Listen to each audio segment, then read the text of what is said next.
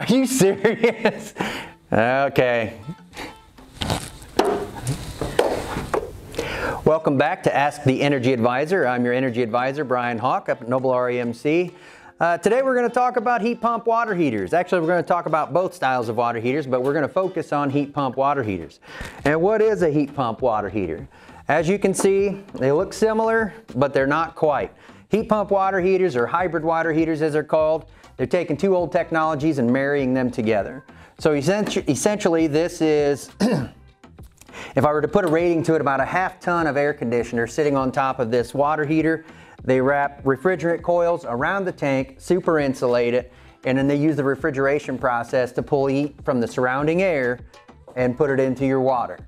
So why is that such a big difference? So we've got electric elements here, got an electric element here. These guys operate at 4,500 watts every time they kick on.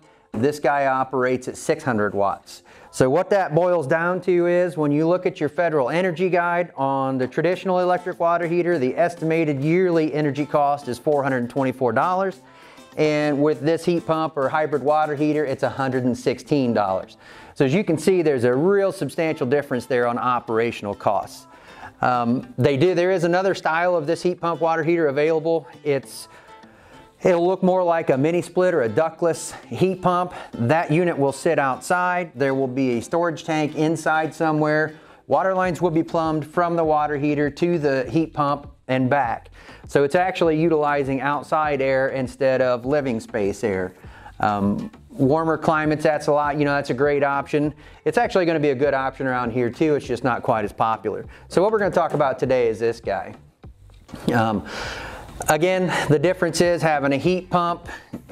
It, has got a couple little quirks to it that this one doesn't. In the plumbing world, we call these nipples. And on a uh, standard electric water heater, they are on top. And as you can see on the hybrid or the heat pump, they are on the side. Again, you've got a fill tube that fills the, pushes the cold water down. Cold water comes in on the bottom side here, so life is good. Pressure relief, pressure relief. Everything else is pretty much a standard. Being an air conditioner or acting as an air conditioner on top, you know, much like an air conditioner in a home or in a window, it is going to pull moisture from the air. So we've got a couple condensate drains there. This is the primary, this is a secondary backup. So one thing you'll have to have if you want to install this is a condensate drain somewhere nearby. Most utility rooms have a furnace with an AC coil in it, and so there's going to either be a condensate pump or drain nearby, so that's usually not an issue. Um, brings me to my next point. Um, where can you install this water heater?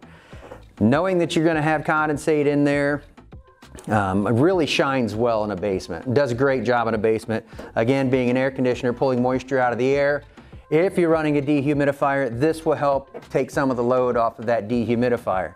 I won't be so bold as to say it'll take it all, but it will definitely help keep that dehumidifier from running. Um, something I just missed uh, while we were talking about the differences is, as you can see, maybe you can't, but there's a fan right here. And on the top of this, we have a little screen and there's a input or an inlet right there. So this unit's gonna pull air in and push it across the coil and push it right back out. With this filter here, it's very similar to what a mini split heat pump filter is made out of. It's just a plastic frame with some real, uh, it's not super fine, so it's not going to have a super MERV rating, but not going to be a lot of maintenance to this. You're just going to need to periodically check it. Um, so that being said, we'll come back to some of the operational differences between the heat pump water heater and the standard electric. Standard electric, you got one mode, electric only. With the heat pump water heater, we have four modes here. We have efficiency, hybrid, electric, vacation. Efficiency mode will be heat pump only. That's going to get us up, you know, we talked about the energy guide label. This one is 95% efficient. This one is 345% efficient. So in efficiency mode, we're going to be running at that 345% efficient only. this water heater is rated at two 17 minute showers back to back.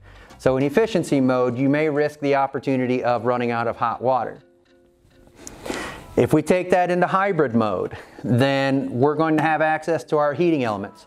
Going to act very similar as the efficiency mode. It's always going to try and satisfy your hot water needs with this heat pump sitting on top or this air conditioner sitting on top. But if it senses that it cannot keep up with the demand, it will kick in the electric elements so you don't run out of hot water. That's the beauty of this water heater. Now, you're going to go right back to the um, similar usage of what this guy is as long as it's operating in that mode. So you're, you're going to want to if you, if you think you're going to go over two 17 minute showers back to back, you may want to do a little more research on this guy and we'll talk about that in a little bit. We have electric only mode. If something were to fail on this heat pump, you can actually just put it in electric only mode and it'll just operate the exact same efficiency as this water heater here. Vacation mode, you have up to 99 days you can be away from your house and this guy will go down to 70 degrees and operate almost hardly at all. You know, it's not going to use much energy at all, which it doesn't anyway, but that's kind of a nice little function to it. Um, nice thing about this one is I uh, get a lot of calls about tankless. This guy is going to cost you about the same or less to operate as what a tankless water heater does.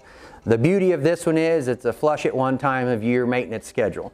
A tankless water heater, there's descaling, deliming, derusting. You know, you've got to run some solution through that tankless or you really should run some solution through that tankless a couple times a year. Again, this guy really shines well in a basement. I don't recommend installing this um, in a single floor application where it's going to be near people or where you're going to have a television or anything like that. Being a little mini air conditioner or heat pump on top of here, it is going to make some noise. Uh, it's slightly louder than a refrigerator and then it's going to cool the space that it's in slightly. So some comfort and you know comfort's going to go with either skin or, or um, ears, whatever you want to call it. So really, that's about all I have to say about them. One thing you can always do is go to university.hotwater.com. University.hotwater.com. That is A.O. Smith's technical website, and they have plenty of videos on both of these water heaters. They can answer just about any question you would have. Um, this one is the HPTU 50N130.